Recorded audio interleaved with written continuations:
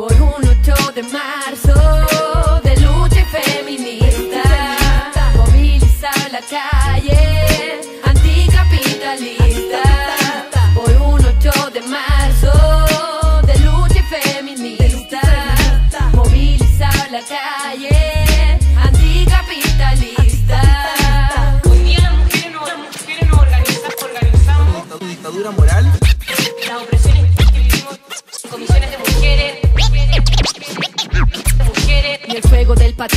acallar la gira de la fábrica Cotón. Mujeres de la industria textil hilando la lucha de clase como las tesis de abril. Con 129 historias de este cuento. Ahora en todo el mundo está esparcido el descontento. La huelga de mujeres fue cimiento para este encuentro. No puede existir una cruz más fuerte que tu propia decisión. Aborto libre y legal, financiado con las money que el Estado usurpó. Aunque suene extraño, hemos llegado a punto fijo. Fin a la educación sexista, a romper con lógica machista.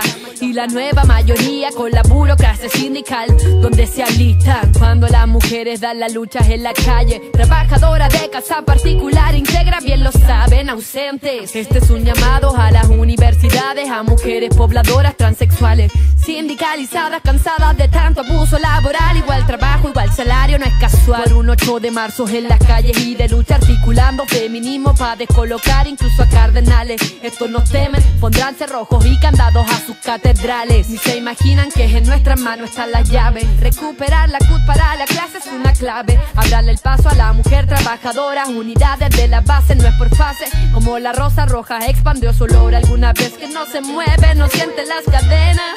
Este marzo avanzamos sin fronteras. 8 de marzo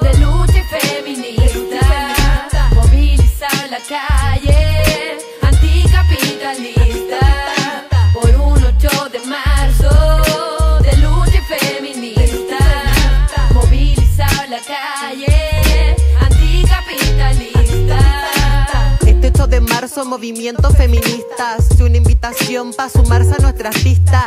Queremos ir a marchar con todos los sectores. Convocamos a estudiantes y trabajadores. Exigiendo de una vez educación no sexista. Para que las travestis digan presente en la lista.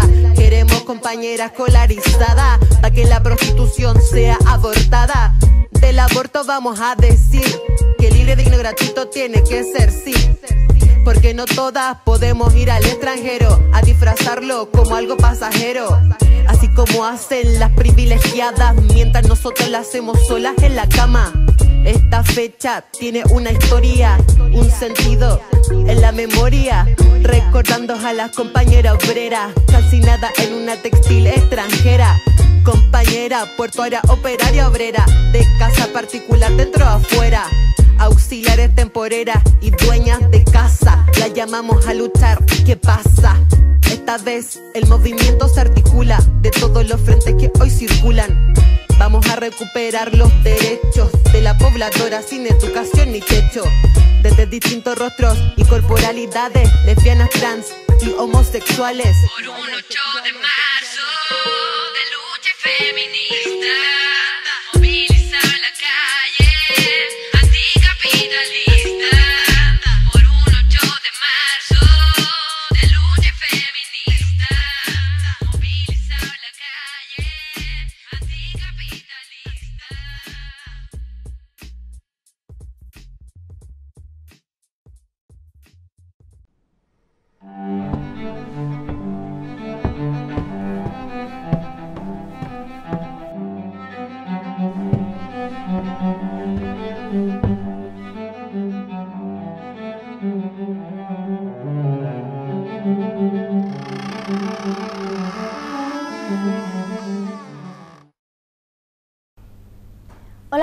comenzamos nuestro programa con nuestra sección de Preparando la Victoria, que en esta ocasión está dedicada a la lucha de la María Blanca por una sanidad universal.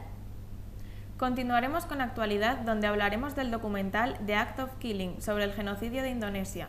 También abordaremos el informe publicado por China respecto a los derechos humanos en Estados Unidos, el tratamiento de los medios españoles sobre los disturbios en Venezuela y en el territorio nacional las protestas en Euskal Global Forum Spain y la quincena de la lucha feminista. Y finalizaremos esta sección con un reportaje sobre la visión que tienen los africanos de la política migratoria de la Unión Europea. En Rebelión en la Granja os presentaremos un vídeo titulado De crecimiento en un minuto y para finalizar os presentaremos nuestro especial sobre el 22M.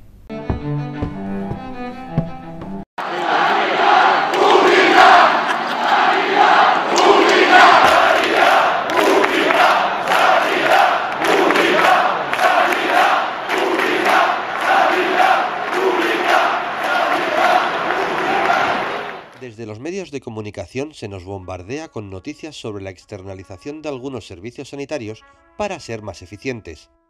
Realmente, se trata de la privatización de nuestro sistema público sanitario, el que se ha construido con nuestros impuestos. 1986. Se aprueba la Ley General de Sanidad, mediante la que cualquier residente en España podría recibir asistencia sanitaria no se permite la entrada de empresas privadas en el sector más que de forma puntual y complementaria. 1991. Informe Abril. El gobierno del PSOE encarga un informe para iniciar la privatización del sistema sanitario. La comisión encargada de la elaboración del mismo estaba presidida por Fernando Abril Martorell, empresario, banquero y exprocurador en las Cortes franquistas.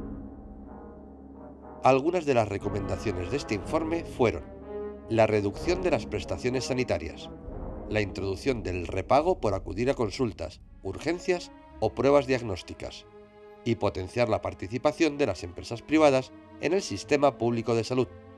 El rechazo social que provocó obligó al PSOE a retirarlo, pero en la práctica se iniciaron las privatizaciones de algunos servicios como limpieza, comidas o ambulancias. En 1997 se aprueba la Ley 15-97, con los votos del PP, PSOE, CIU, PNV y Coalición Canaria. El objetivo era modernizar la sanidad, permitiendo la entrada de todo tipo de empresas privadas. Las partes más rentables, como laboratorios o diagnósticos por imagen, son privatizadas. Las menos rentables, como ancianos, crónicos, trasplantes o enfermedades raras, son derivadas a centros públicos. Esta ley no ha sido derogada en ninguna legislatura y se ha mantenido como hoja de ruta en el proceso privatizador de la sanidad pública. Comunidad de Madrid. Es en esta comunidad donde mayor desarrollo ha alcanzado el modelo Alcira. Consiste en que una empresa privada recibe gratuitamente miles de metros cuadrados de suelo público donde construye el hospital y dispone el equipamiento básico.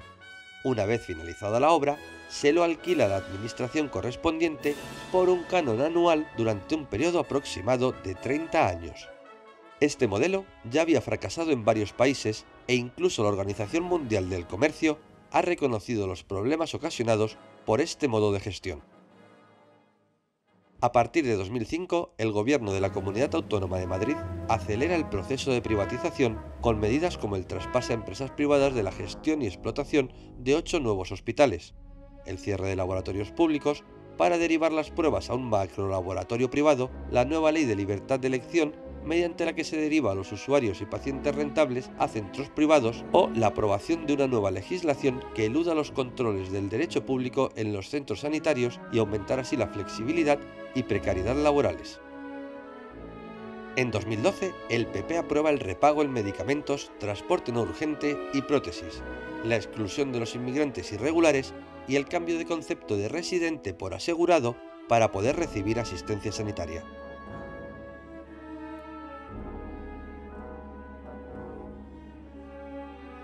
En el Real Decreto de Ley 16-2012, aprobado por Rajoy, se asestó un golpe de muerte a un derecho fundamental como es el derecho universal a la salud, reconocido explícitamente en el artículo 43 de la Constitución. Ha significado la expulsión del Sistema Nacional de Salud de cerca de un millón de personas. También ha supuesto el fallecimiento de dos personas inmigrantes por falta de asistencia médica, o que los precios de medicamentos suban para los trabajadores un 20% de media y para los pensionistas un 10%.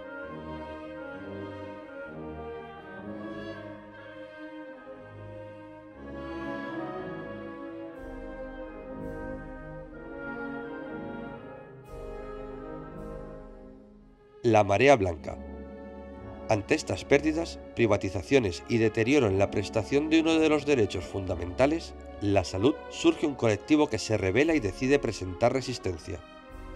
es un movimiento ciudadano independiente y solidario a favor de la sanidad pública y universal en todo el territorio español. No solo está compuesto por el personal sanitario de hospitales y centros de salud, también incluye a ciudadanos que defienden un derecho fundamental. En mayo de 2013, asociaciones vecinales y asambleas del 15M organizan una consulta popular donde votaron más de 933.000 personas de la que resultó un apoyo de 99,4% a la sanidad pública. El 10 de julio de 2013, el Tribunal Superior de Justicia de Madrid acordó la paralización cautelar y urgente de la resolución que iba a permitir la entrada de empresas privadas en la gestión de seis hospitales de la Comunidad de Madrid. Infanta Sofía, Infanta Leonor, Infanta Cristina, de Lenares, del Sureste y del Tajo. El 27 de enero de 2014 y tras 14 meses de movilizaciones, el Tribunal Superior de Justicia de Madrid, ante el recurso presentado por la Comunidad de Madrid, confirma el mantenimiento de la suspensión cautelar de la privatización de la gestión sanitaria adjudicadas a las empresas Sanitas, Rivera Salud e Inma San Pablo. Esto provoca la dimisión del consejero de Sanidad Javier Fernández Lasqueti.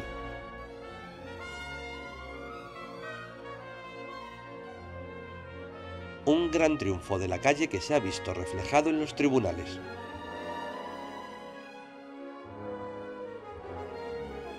Pero esta victoria es parcial, porque otras partes del plan privatizador siguen en marcha. Hay que continuar luchando. Esta confrontación se organizará sobre tres líneas de actuación básicas. La defensa del centro de transfusión, la lucha contra las derivaciones a los centros privados y, por último, comenzar a propiciar una gran movilización social a nivel de todo el Estado español para exigir la derogación del Real Decreto de Ley 16-2012.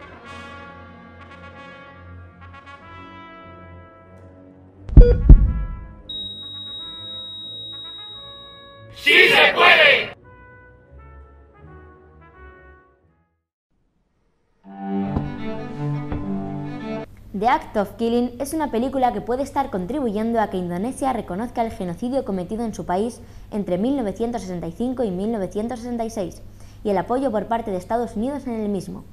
El documental no ha resultado ganador del Oscar para el que estaba postulado. Sin embargo, obtuvo el premio de la Academia Británica de las Artes Cinematográficas y de la Televisión, y el año pasado ganó el del Cine Europeo al Mejor Documental y el Premio Cinematográfico de Asia-Pacífico. Uno de sus directores ha señalado que su esperanza es que este país asuma su responsabilidad para que el gobierno de Indonesia pueda avanzar hacia una reconciliación.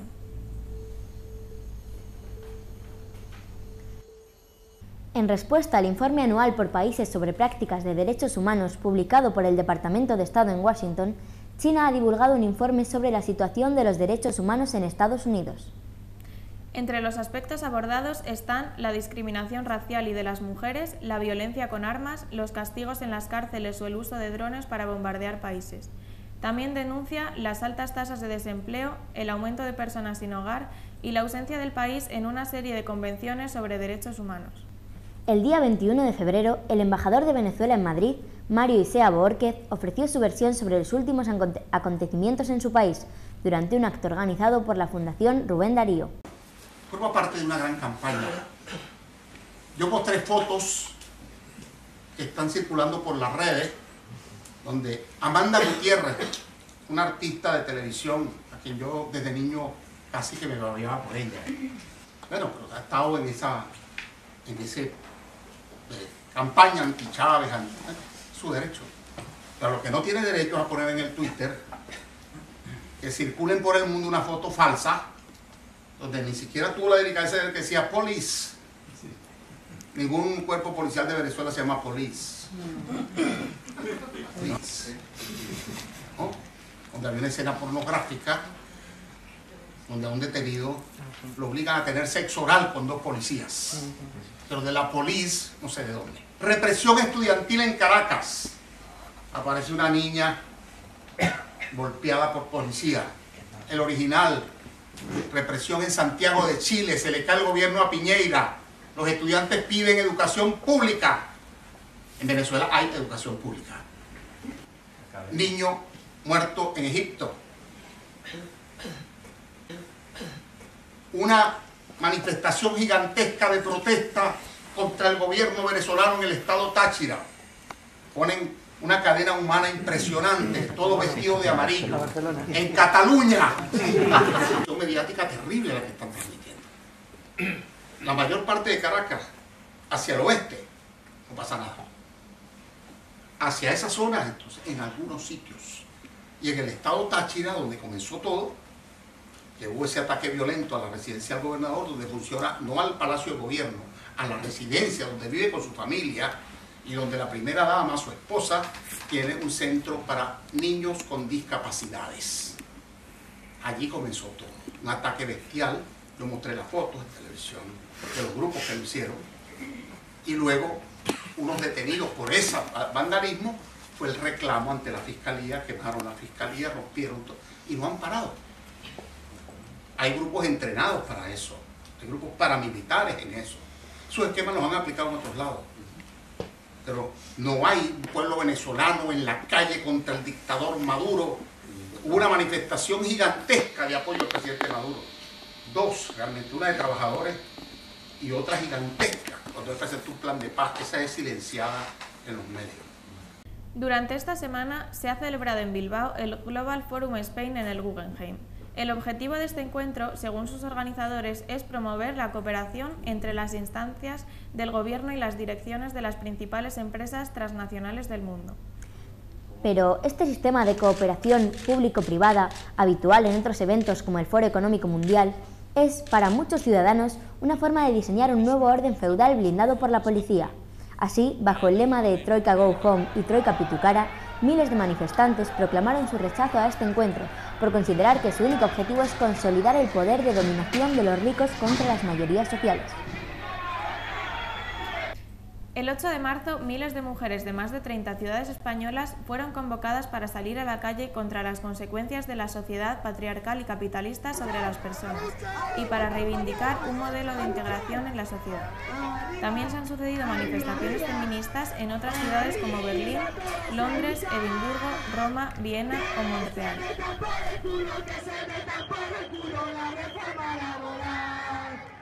Al mismo tiempo que se concedieron más de 900.000 visados para la Rusia de Putin, menos de 56.000 visados fueron concedidos para todo el continente africano. Mientras ahora se intenta distinguir a los crimeos de los rusos, los inmigrantes africanos en España son agrupados, ocultados y cosificados bajo el término subsaharianos, el mismo procedimiento que ya se usó para los sudamericanos. Os presentamos un reportaje de Max Chica en el que oiréis a los africanos hablar del problema de la valla de Ceuta. ¿Qué te parece eh, lo que ha pasado en Ceuta? Lo que se pasa ahí, que es muy mal, muy mal.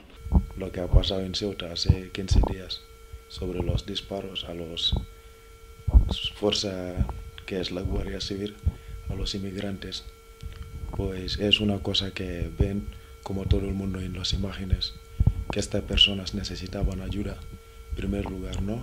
Sobre el evento de Ceuta. Hemos tenido que esperar que la comunidad europea nos llame la atención. Eh, la señora Cecilia Malmström eh, tiene que venir aquí a darnos elección para que al fin y al cabo la gente empiece a hablar y, toma, y, y, tomar las cosas en serio. Bien, es mal. Primero lo que se mm, está mal primero que para atravesar, para cruzar una frontera es peligroso si tú no tienes papeles. Esta es verdad. Porque para matar no es normal. Estoy realmente triste de ver que eh, este país, que siempre he considerado como uno de los países democráticos, eh, se encuentra en esta situación y que los políticos no reaccionan o reaccionan tarde. Que lo que yo tengo de, de enfadada es con los presidentes de África. Porque si los hijos de África cruzar de frontera para salir de África, y África tienes todos, es la culpable, primero es los presidentes de África. Es una, realmente es una vergüenza eh, esta muerte de los 15 inmigrantes no se puede tolerar, no se puede tolerar en un país eh, como España. Así que esperamos que este pobre gente que perdieron la vida eh, y que esto no, no vuelve a pasar nunca más aquí en España. Yo creo que esta decisión, ¿sabes?, de que han tomado de disparar, viene desde sus superiores, porque ellos siempre son los que toman las decisiones y son los que les dicen lo que tienen que hacer y los que no.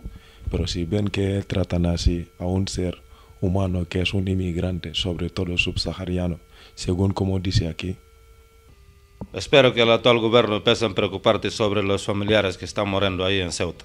Los clandestinos tienen problemas a la frontera, pero que dentro de aquí España, muchísimo racista, mucho, mucho, mucho cosa de racista. Son africanos, negros, pura discriminación se demuestra allí hacia el odio y cómo es el cómo vulneran el derecho humano de aquí en España. Estamos avisando, no hay una amenaza. Pienso que se puede tener ya dependencia ya que las cosas que están pasando en Ceuta. No queremos problemas, queremos solo paz y amor.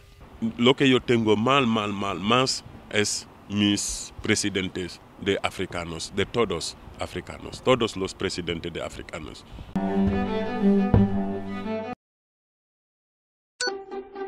A continuación, tenemos un minuto y solo un minuto para explicar qué es el decrecimiento. Así que fijémonos en este caracol. Vive en un mundo donde la norma es crecer, un mundo donde el crecimiento se presenta como solución a las crisis. Sin embargo, sabe que afortunadamente existen otras alternativas. El decrecimiento, en vez de insistir e insistir en el incremento de la producción y el consumo, pone en el centro de su discurso la sostenibilidad de la vida. No de una vida cualquiera, sino de una vida que merezca la pena ser vivida y para eso tenemos que reconocer que somos seres ecodependientes e interdependientes. Pero, ¿qué significa que somos seres ecodependientes? Significa que estamos ligadas a la naturaleza. Sin ella no sería posible la vida. No es posible un crecimiento económico sin límite. No podemos crecer infinitamente en un planeta limitado, donde los recursos son, por definición, finitos. Cuando olvidamos nuestra ecodependencia, rompemos los ritmos y equilibrios del ecosistema en el que vivimos. Es decir, rompemos la propia naturaleza a la que estamos ligadas. Por otro lado, somos interdependientes y esto quiere decir que estamos ligadas al cuidado entre nosotras. Sin cuidados, sin relaciones, no podemos sobrevivir. La vida es una realidad de interdependencia. El decrecimiento visibiliza y valora las actividades de cuidado. Este es un paso imprescindible para construir vidas que se preocupen por la vida. Se nos ha acabado el minuto para explicar qué es el decrecimiento, y precisamente por eso vamos a continuar explicándolo, porque en el decrecimiento avanzamos lento, pero avanzamos. Y es que el decrecimiento es este caracol. Por ejemplo, este caracol construye su casa encima de sí hasta que siente que no va a poder arrastrar más peso y da por terminada la tarea. El caracol sabe parar y decrecer si ha sobrepasado su peso. En el decrecimiento hacemos lo mismo. Caminamos lento porque vamos lejos.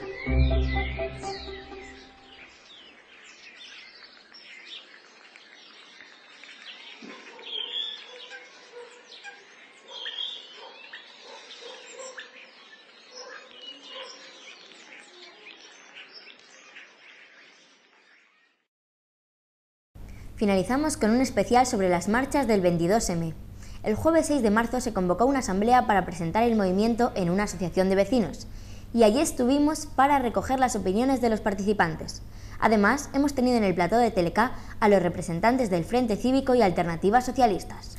Nos despedimos recordándoos que podéis enviarnos vuestros comentarios y participaciones a nuestro correo afai.tomalatele.gmail.com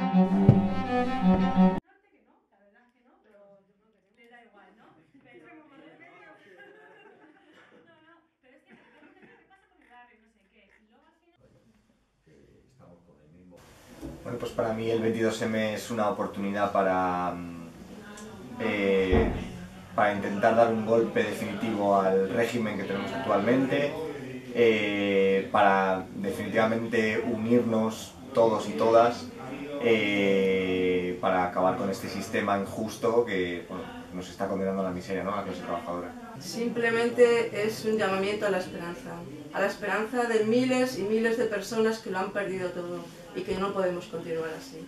Basta. No trata solo de una manifestación para derrocar al gobierno, sino para cambiar de sistema. Cuatro puntos básicos. Uno, no al pago de la deuda no pagamos. El pueblo, la población española, no tiene por qué asumir una deuda que. Luego está el tema del derecho a la vivienda. Desde eh, yo, por lo menos, desde mi asamblea y la mayoría de las asambleas eh, de vivienda y las PACs, estamos luchando por el derecho eh, constitucionalmente admitido de que todo el mundo tiene que tener. Luego, el empleo digno con derechos o renta básica. Nosotros estamos luchando por unos empleos razonablemente dignos en el sentido de que no se precaricen y luego por servicios públicos para todas las personas. Hemos participado en las mareas eh, queremos que el servicio de la, que la sanidad sea pública gratuita y universal. Queremos también que no se excluya como de hecho se está excluyendo a más de 800.000 personas migrantes y nativos de aquí del estado eh, que ya no tienen ni siquiera tarjeta sanitaria Pues a mí me parece un movimiento ilusionante el hecho de que vaya personas de todo el Estado español a converger en un mismo punto, a intentar colapsar la ciudad eh, por estos motivos que estamos diciendo, ¿no? para intentar eh, acabar con el injusto sistema que tenemos. Todo el mundo que conozca este movimiento debería tener esa ilusión de, de participar ¿no? para cambiar las cosas. Y entendemos que, que toda la acción, acción o protesta que vaya dirigida a cambiar este sistema es, es bienvenida y hay que participar activamente en ella. El futuro, el futuro sobre todo de, de los jóvenes, los jóvenes que ahora mismo no tienen nada de futuro. Eso es lo que me lleva. porque creemos que era una buena oportunidad eh, para que muchos colectivos, que es muy importante, nos pongamos de acuerdo en unos puntos mínimos, unos consensos mínimos. En ningún, en ningún caso, en eh, la gente que participamos en las asambleas de vivienda y en las PAC, eh, cobramos absolutamente nada.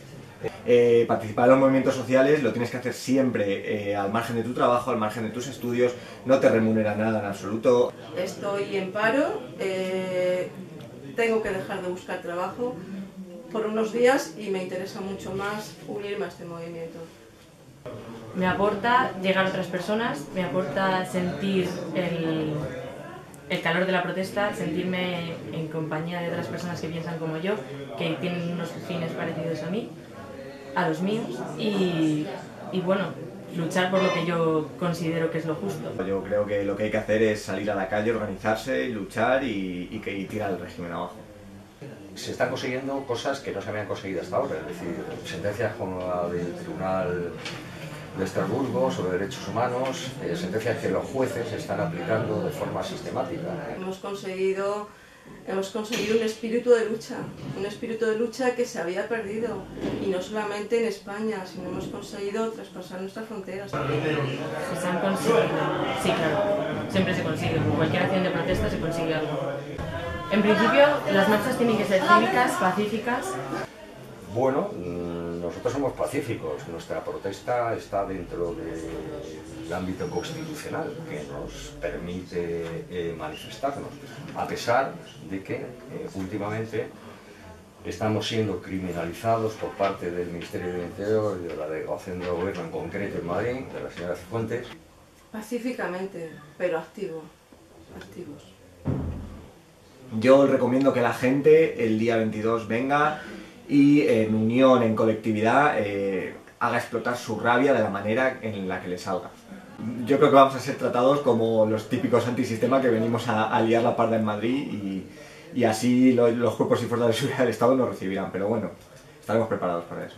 Pues esperamos que sí, que no se vuelvan completamente locos y sigan criminalizando al movimiento social que está funcionando todo el Estado español. Pensarán que somos gandules, que no tenemos otra cosa que hacer que estar allí y en lugar de estar en nuestras casas quizás, no lo sé. No, por supuesto que no, como siempre, vamos. Yo espero que sean muy masivas eh, las manifestaciones. Espero que, yo creo que va a ser la, la movilización más fuerte de todo el año y que tenemos que estar todos y todas ahí. Yo creo que sí. Va a haber muchísima gente, más de la que estamos pensando. Debería estar todo el mundo en la calle, todo el mundo en la calle. O sea, es que motivos, motivos sobran, motivos sobran.